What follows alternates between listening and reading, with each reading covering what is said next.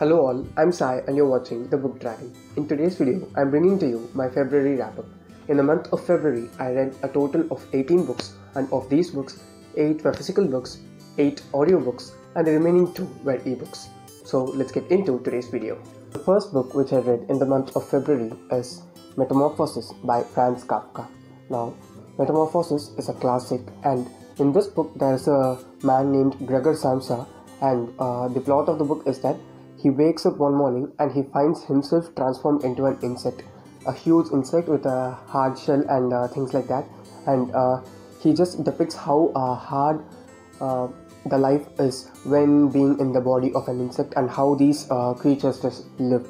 And it just uh, doesn't show a single day's happenings of a human being inside the body of an insect, but his life for a few days in the body of an insect. But um, I should say that I didn't like this uh, book a lot because I uh, found that it was a bit meandering here and there, and I didn't get a lot from this book. I, am going to give this another try later this year, and I rated this a total of 3 stars. The first read of the month was Metamorphosis, as I said before, and it was not uh, a good start for me in the month of February. And the next book which I read is uh, The Girl with the Dragon Tattoo, and this just broke all the uh, things which Metamorphosis made for me as a reader because this book it involves a lot of research and a lot of work that has been put in by uh, Stieg Larsson.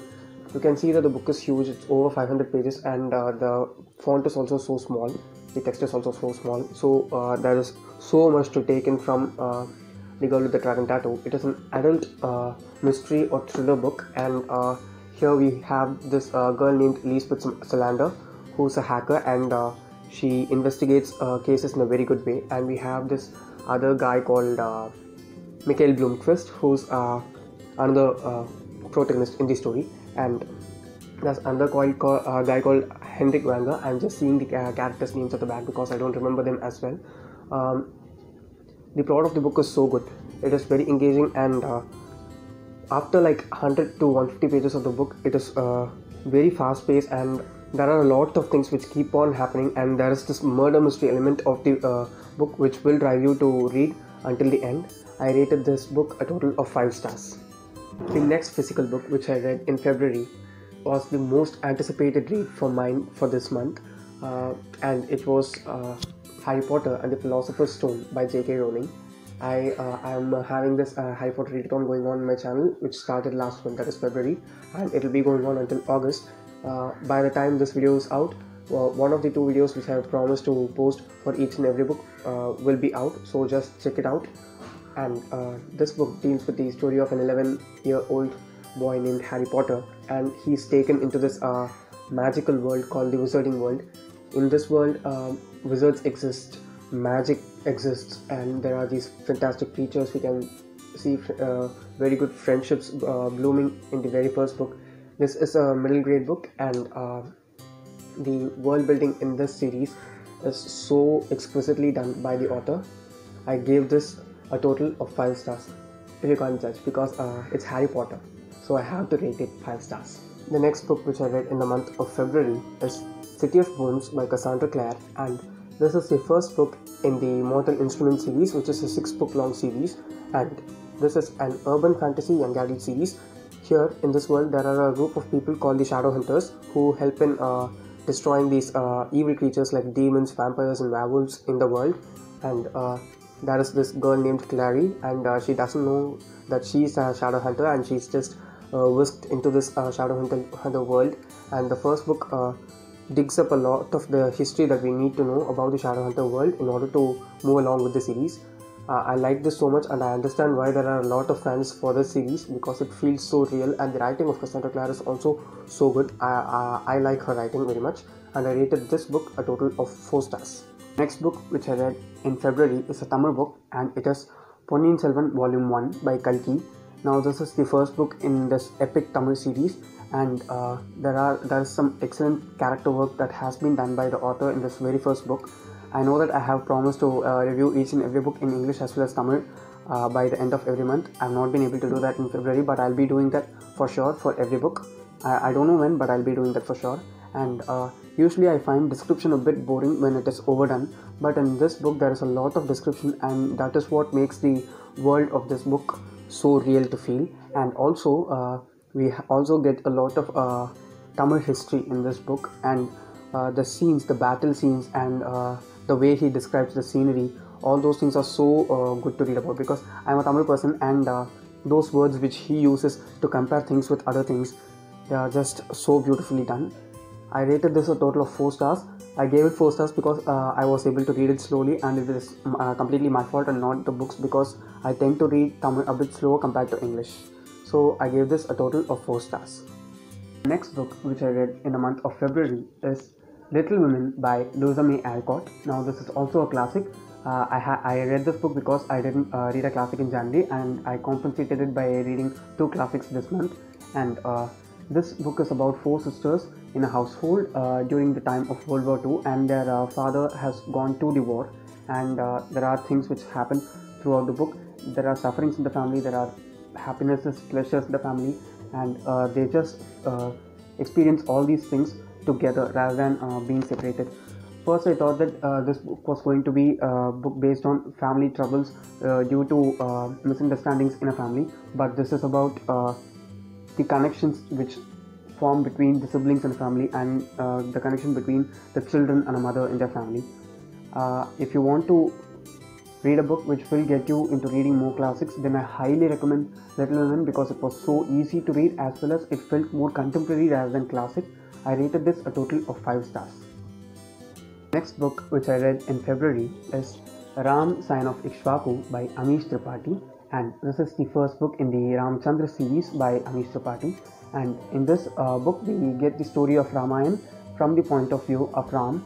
And uh, this book took me some time to get into, and uh, after hitting like 100 to 150 pages of the book, I just started loving it so much because uh, the scenes that he has written from Ramayan, which I didn't know about, and the characters which I didn't even know that existed in Ramayan, are so so good. And it, uh, in this book, he also writes uh, some chapters about uh, how just ancient India was and how it is not that much right now. And uh, there are certain things you have to read this book if you want to uh, learn some things about Ramayana which you didn't know. I rated this a total of 4 stars. I didn't give it 5 stars because it took me some time to get in. The last physical book which I read in February is The Prophet by Khalil Gibran and this book had taken more than 11 years for the author to write and it has a total of 24 chapters and each and every chapter in the book is about life or some uh, part of life which is very important for human beings and uh, each and every aspect of life that he has described have been questioned by uh, some kind of person which we would have met in our life for sure and the answers that this prophet person gives for those questions is uh, so, to the point and perfect, if you ask me. Everyone needs to read this book. If you ask me, this must be a classic for sure. I rated this a total of 5 stars. Moving on to the audiobooks, my most favorite audiobook which I listened to last month is Symptoms of Being Human by Jeff Garvin. Now, this book is about a gender fluid person and it is a book in the it is a book in the LGBTQ uh, category and uh, I've not uh, heard of uh, many books like this. If you guys know some books like them, please do uh, let me know in the comments below. And this book deals with the life of a person uh, who's gender fluid. That is, they are not male completely, they are not female completely, they are not transsexuals as well as they are not gay people, but they are people who can feel a gender each and every day. That is, they might be a male, they might be a female. Uh, this might uh, sound complicated because it is so complicated and it has been described in a very uh, neat way by the author and he hasn't uh, included anything graphic in the book throughout. Uh, it is not so chill to read as well. It is a heavy handed book. It is young adult but it is heavy to read. I rated this a total of 5 stars i want to read more books like this because it will make uh, the feel of empathy in me a bit more. And if you do know some books like them please let me know in the comments below. The next audiobook which i listened to in february is never give up uh, jack ma in his own words. And this book is a collection of the quotes given by jack ma who's the founder of the alibaba group. If you didn't know please uh, google about alibaba group because it is a very big franchise in China, not America, China, and uh, uh, this book comprises of all those uh, important lines that have been said by Jack Ma in various interviews of his in China as well as America, and uh, there are even chunks of the uh, book which tell us about the foundation uh, that was laid by Jack Ma while he established Alibaba Group as a whole. I like this book so much, and there are things which we which will help us to uh, make our lives better. There are very uh, minute things which have been uh, said by Jack Ma in these quotes, and if you like uh, reading uh, inspirational quotes, then this is a book which you need to read. I rated this book a total of 4 stars. The next audiobook which I listened to is The Yellow Wallpaper by uh, Charlotte Perkins Gilman, who's this female author. It is a very old book, it is a classic. This book is so short, it is just 15 pages long and uh, the genre of the book is not horror it, it is classic but the story is very much horrifying. It is about a lady with some mental illness and how she's uh, treated in a wrong way. She's not uh, she's treated for her mental illness by her husband but she's not treated in the right way. And the climax for this book was so good it was so short. That was my only problem with the book. There, uh, there was a lot of scope to expand the book and i rated this a total of 3 stars. If you're looking for a horrific read then go for the yellow wallpaper. Next audiobook which i listened to is also a non-fiction uh, book which will fit inside the self-help uh, category. And it is uh, how to speak to anybody anytime anywhere by chris widener this is a very short book. It is just like uh, 20 to 30 pages long uh, I listened to it on audio, and uh, Chris Widener gives these uh, three simple steps which will help uh, anyone to speak to anybody, anywhere, anytime. And um, these are the simplest three rules which you can follow if you have the fear of speaking. If you want a review for this book, please uh, do let me know by some means. Um, this book and uh, another book, which is the next book which I'm going to speak in the video, are books which I think everyone will find useful if you want uh, specific reviews for them then please do let me know. I rated this book a total of 5 stars. The next audiobook which i said before is who will cry when you die by robin sharma. In this book uh, robin sharma speaks about 100 ways uh, in which you can make your life more productive and more uh, meaningful. And he also says that uh, there are not uh, things we just need to do in order to make our lives better. There are also things we uh, need not do in order to make it uh, even better. And uh, if you want to read a book uh, in such a way that you have to read one chapter per day then you can read uh, who will cry when you die. The title of the book might sound negative but i must say this book just overflows with positivity. And after reading this book you'll, you'll find it very much useful and you can apply at least one aspect which he has spoken about in your life in order to make it better. I rated this book a total of 5 stars.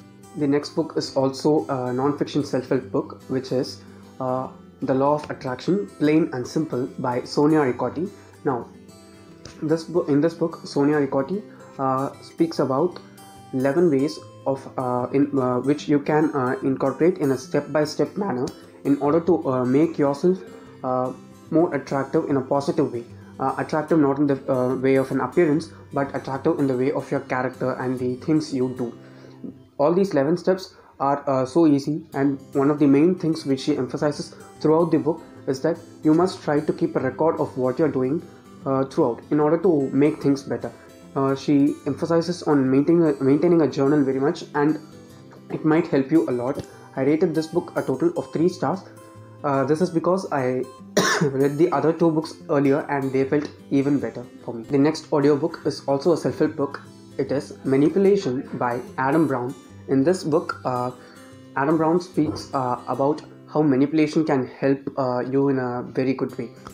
Generally, manipulation is considered to be a thing uh, which cunning people do, but uh, you need to know how to manipulate people and um, how you can make them do things for you in order to make yourself as well as uh, their lives better because manipulation is a very important aspect in any person's life who wants to uh, any person in any person's life who thinks that uh, they have to improve their status in uh, life in a proper way.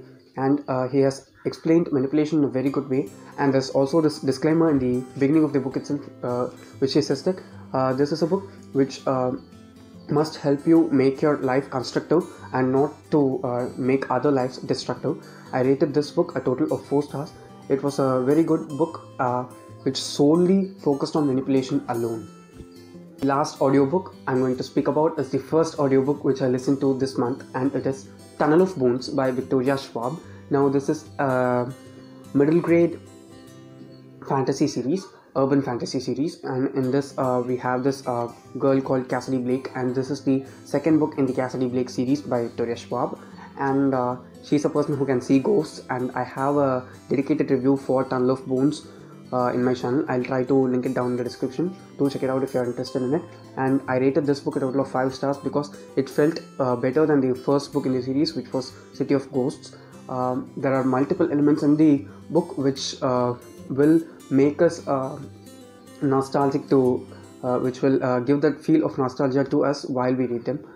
So if you're looking for a middle grade book that is uh, fun to read as well as which will uh, kindle some nostalgia in you please read tunnel of bones and before that read city of ghosts by victoria schwab. The two ebooks which i read this month were also comics and i'll just uh, read out read out their names ratings and their authors from the phone which i have right now. And the first ebook which I read was Lady Stuff's Secrets to Being a Woman by Lauren Brands. This is a cute uh, comic strip book which will uh, show you uh, things how uh, girls deal uh, deal with their lives. These are some, uh, some things which are portrayed in a very comical way which will make you laugh for sure. And the next book is Lunar Baboon: The Daily Life of Parenthood. This shows how the life of parents of a child who's so mischievous can be and how uh, things which a child does in a normal way can bring forth uh, huge problems to the life of their parents but it is done in a very tasteful and comical way. I rated this book also a total of 5 stars. It will make you laugh for sure. And uh, the next book is lunar baboon the daily life of parenthood. This shows how uh, the life of parents of a child who's so mischievous can be and how uh, things which a child does in a normal way can bring forth uh, huge problems to the life of their parents, but it is done in a very tasteful and comical way. I rated this book also a total of 5 stars. Okay, so those were all the 18 books which I read in February, and I did read one book more than, uh, than the amount of books which I read in January, and I feel happy about that do let me know how many books you read in uh, February in the comments below and also if you have any recommendations for me also uh, let them in the comments. If you want any de- dedicated reviews for the books which I mentioned in this video uh, you can let me know through my Instagram or uh, in the comments. Also share this video if you liked it and also give it a big fat thumbs up and also subscribe to the channel. Until the next video it's me signing off. Thanks for watching